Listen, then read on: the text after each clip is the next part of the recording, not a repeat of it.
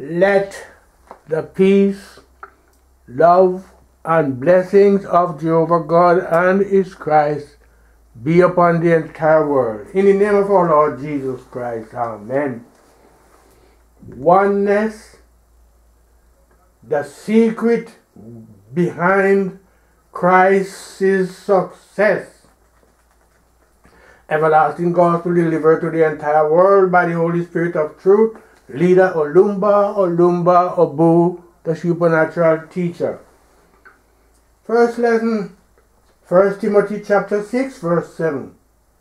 For we brought nothing into this world, and it is certain we can carry nothing out.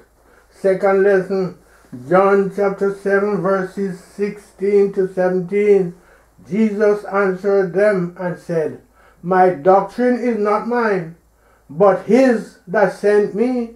If any man will do his will, he shall know of the doctrine, whether it be of God or whether I speak of myself. Golden text, John chapter 12, verses 44 to 46.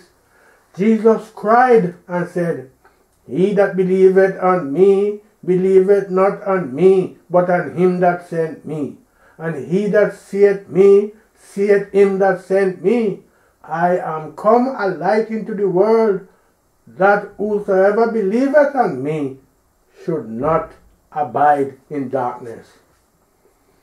Quote, Brethren, what I want to reveal to you in this gospel is about oneness. It is like everybody has been reading the Bible without understanding its intricacies, and so no single man is able to comprehend the words spoken by our Lord Jesus Christ. But I want to expound a little of it to you.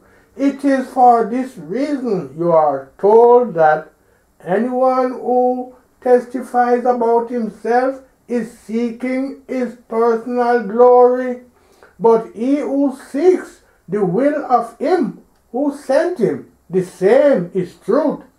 And when you cast a look upon the entire universe, you will discover that they are seeking their glory, and it is for this reason that they all fail. That is why you contest with others, and it is the reason you go about boasting after helping another person. All you try to do is to look for your glory and not for that of God. Because of this, all your endeavors are limited within a short period. The word of our Lord Jesus Christ is like a chain and it is binding on every person in the whole world because it is the word of the Father, the Son, and the Holy Spirit. Indeed, it is the word of the Godhead. That is why this word abides forever because it is not Christ who spoke this word per se, but God Himself. That is why He shouted with a loud voice, saying, All those who believe in me are not believing in me, but the one who sent me. All the words were spoken by God through our Lord Jesus Christ, and anyone who saw Christ saw God. Those who rejoiced in Christ were rejoicing in God. And even when you gave him something, you were giving you were giving God. Also, if Christ has given you anything, know that God gives such a thing to you. Christ does not abide alone, and he equally does not speak alone. He does not do anything alone. The Father accomplishes everything. When He moves or when stationary, it is the Father who does both. Therefore, there is no way he could do without the Father. In your own case, it is different because you are given to uttering vain words. There is no occasion when our Lord Jesus Christ is overjoyous or over angry. He does not receive praises from any person and is not equally insulted by any because everything belongs to the Father. It is the Father who speaks the word, and that is why, whether you accept his words or not, he is not worried if you will come to the realization that you did not bring anything into this world and will not equally go away with anything, then you will be free indeed. It is the Father who gives and He equally takes away. He sees, He knows, He works, He thinks and does everything. When you know this, you will abide in peace. Once you know that you come from the Father and that you are in Him, that anywhere you go is with you, then you will be free and will be covered. Anybody who receives you receives the Father, and anyone who refuses you refuses the Father. Anyone who makes trouble with you is doing so directly to the Father, and because our Lord Jesus Christ knew and attributed everything that happened to him as being done by the Father, this therefore turned to be the secret behind his success. Today you are failing because you do not acknowledge God. You take your decisions, make your plans, and go about doing everything in your own name. And should you give out something to someone and he pretends not to be aware, you will not hesitate going to ascertain whether he has really received it or not. This is because you are seeking your glory. This is accountable to the problems plaguing the entire universe, for nobody seeks the glory of God. A local adage has it that when the cause of history is forgotten, the history is distorted.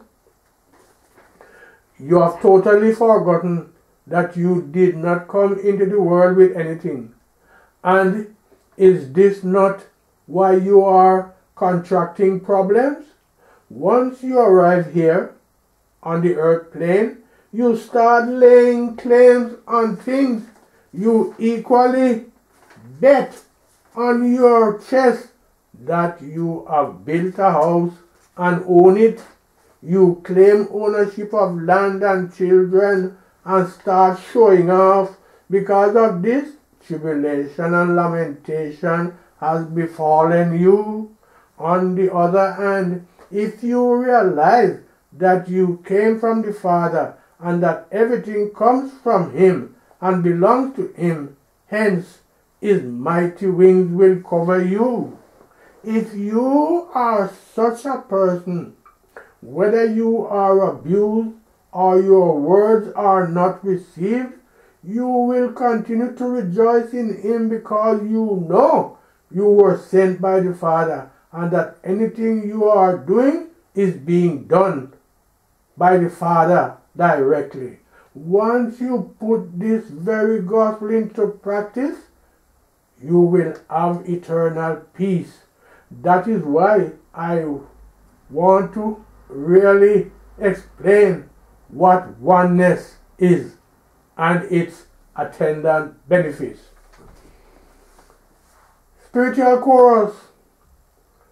When you bring God closer, when you bring God closer to yourself, you will surely emerge a winner in the battle. Brethren, have you heard that? But the moment you are born into the world, you started doing everything on your own and seem to forget all about God. This will make you roam about as sheep without a shepherd if you do not place God first in your life. What do you think will be your end? Right from today, if you come to the realization that you and the Father are one, and you kneel down and kowtow before the Father, He will come to you, and whatever and wherever you go to, He will go with you. In fact, whatever thing you do, He will do it for you because you have recognized and have acknowledged Him as the doer of all things, and as you being one with Him, since He is the one who sends you on an errand, He will go before you to accomplish that task for you.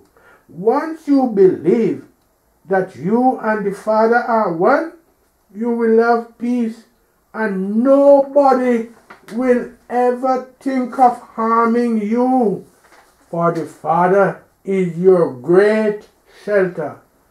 But once you do anything and lay claim of doing it on your own, then you will fail completely. Since you are seeking your own glory, you cannot accomplish anything. Recall the case of our Lord Jesus Christ. Anything he did, he attributed it to the Father, and this was the secret behind his success in everything he did. Adam made this mistake first by saying that he was alone and now all of you are repeating the same mistake. If you are alone, you cannot do anything. But if you embrace God, anything you want to do, He will accomplish it for you. Let the first lesson be read again. First lesson, 1 Timothy chapter 6 verse 7. For we brought nothing into this world, and it is certain we can carry nothing out. Brethren, ponder over these words. In the whole world, who came in with anything, and in the same token, even if you live for thousands of years, when you will be leaving this planet, what will you go with? If this is the whole truth, what then is the need for your struggling? You do not sleep, you do not keep quiet, and you do not even rest. Day in, day out, and all the time you are found very busy doing one thing or the other, whereas you embrace Whereas if you embrace the Father as Christ did, you will, however, stop to bother yourself over anything because you will realize there is nothing which the Father cannot do. The trouble plaguing the whole world emanates from this lack of knowledge. You were born blind, without wife our husband, our money, our clothes, our houses, cars, and all these material things. It is the Father who owns wisdom, He owns vision, He owns men and women, He owns money, He owns cars, all the houses, and anything you can think of. Heaven and earth and the fullness therein belong to the Father the moment you present yourself before the Father, know that you have gone astray. You claim to be what you are not, and because of this, you quarrel, you tell lies, you steal, you concoct and do all sorts of things to achieve your claims. Your effort, you should know, is in vain because you came into the world with nothing and will leave with nothing. When Christ was here and was proclaiming that the Father was the greatest, he succeeded. And so today you put this gospel into practice, you will be a free man, for he is in front and behind you. If one sees you, it is not you per se, but the Father. And if one fails to recognize you, it is the Father who is not recognized. Whatever thing is done to you is being done to the Father. So do not be perturbed, for you are only a servant, and as such should not speak in parables. Even your earthly father, if you start disobeying him or making yourself his superior, you will not fail to encounter problems. All the things you do are being done by the Father because you could not speak, nor see, nor walk, nor do anything without the Father. The moment you attribute everything you do to the Father, He will glorify you at the end. What I want you to understand is the technique Christ has used in overcoming the world, which is oneness with the Father right from today. Keep to the injunctions of the Father, follow after Him, and testify about His glory, then you will succeed. The glory of Christ is eternal, whereas your own is short lived because you seek your personal glory. Read the second Bible lesson so that you may know what you are expected to do. Let our second lesson be read again. Second lesson, John chapter 7, verses 16 to 17. Jesus answered them and said, My doctrine is not mine, but is that but his that sent me. If any man will do his will, he shall know of the doctrine, whether it be of God or whether I speak of myself. Brethren, when the Jews saw how Christ, a man whose parents they knew, and also who never attended any conventional school, was teaching learned people, they marveled and asked where he obtained wisdom. And Christ answered and said, This teaching I gave are not from me, but from the Father who sent me. And Christ told them that if they want to know the source of his wisdom and the origin of his teaching, they should put what he taught them into practice. In your case, the little knowledge you acquire, you claim to have got it from school, or that you labored for it. You will even forget to acknowledge God, knowing fully that you came into this world with nothing and will depart with nothing. During the time of Christ, he did not claim the words he spoke, the words, the works he did, the things he owned to be his, but he attributed everything to having come from the Father. When you are before him, he tells you it is the Father who is seeing you. When he speaks, he said it is the Father who speaks. When he moves, he said it is the Father who moves. Anything he did, he gave the glory to the Father. When the Jews told him that it was stated that when Christ would come, no one will know him, his parents, and in fact, where he will come from, but you, we know as the son of Joseph.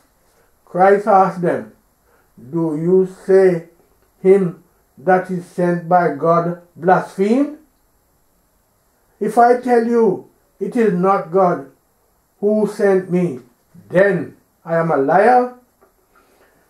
If right from now you are in oneness with God, as Christ did, you will not have any problem and you will have eternal glory. You will not quarrel nor fight or get annoyed and will stop asking questions over certain happenings. Let our golden text be read again. Golden text, John chapter 12, verses 44 to 46. Jesus cried and said, He that believeth on me, believeth not on me, but on him that sent me. And he that seeth me, seeth him that sent me. I am come a light into the world, that whosoever believeth on me should not abide in darkness. Brethren, have you seen what is written there? Christ came to reveal his oneness with God. He came to let us know that anything done by him is directly done by God the Father. But as for you, instead of following after this oneness, you go about telling lies that it is you who do one thing or the other. Have you seen how Christ shouted that anyone who believes in me believes not in me but the Father who sent me? For I came only as a light into the world, so that whoever sees me have eternal life. But you speak individually and abstract yourself from God, and because of this, you cannot accomplish any good thing. The Word is God.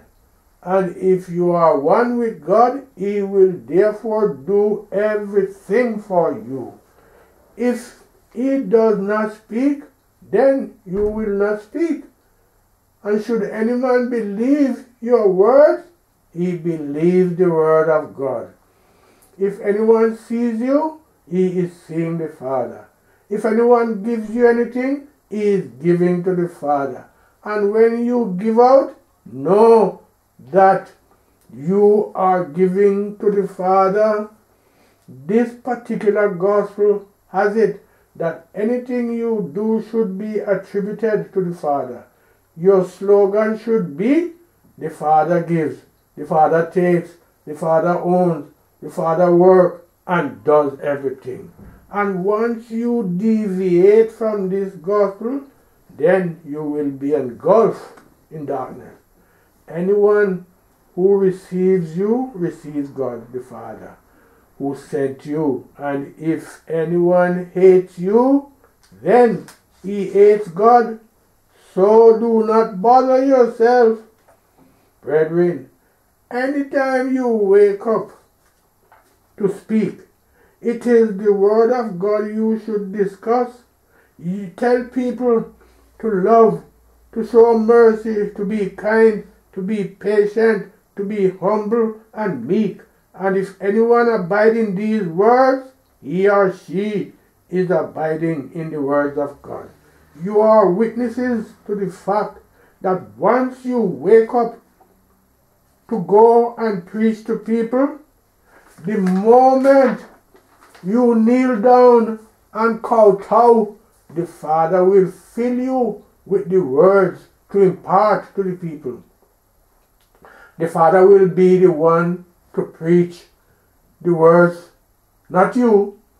just as he has said that you should not bother about what you will say when arrested in his name, that he will give you what you must say. Do not seek to open the book for reference sake, for he will speak on your behalf. He is the one who preaches and prays, the one who testifies, and you are only a channel where he passes through. This means that you are in the Father and the Father is in you. It is the Father who owns the money you give to people. He is the one who prays for people and preaches. And if anyone should do anything to you, it is the Father such a thing is being done to. Therefore, do not quarrel with any person. Every day I give the words and I know it is the Father who is doing this. So, whether you accept the words or not, I am not bothered because they are not mine.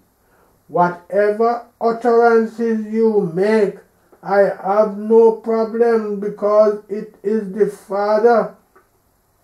You are doing that too. Why do you not attribute every glory to the Father? Does it mean he is too small for the glory? It is this oneness that the Father has asked me to teach you. Do not do anything again on your own. When Christ sent Ananias to go to the house of Cornelius and pray for Saul, Ananias wanted to refuse on the grounds that the man was after the Christians. But Christ told him not to refuse because Saul was a chosen vessel to carry the gospel to the Gentiles. And Ananias went and told Saul about his mission. That is what exactly you should be doing.